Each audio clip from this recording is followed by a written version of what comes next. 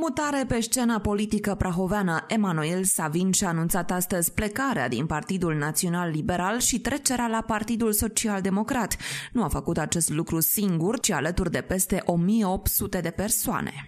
M-am gândit mult, mult mai bine împreună cu toată organizația PDL, urmez de organizația PDL Bușteni. Începând de astăzi, este toată organizația trece la Partidul Social Democrat nu m-am regăsit. Nu, eu tot timpul am avut alt principiu. Întâi să mă preiau funcția aici, după care Ce funcție preluați? Coordonator, coordonator, candidat la primărie. Vicepreședinte în biroul județean. Județean.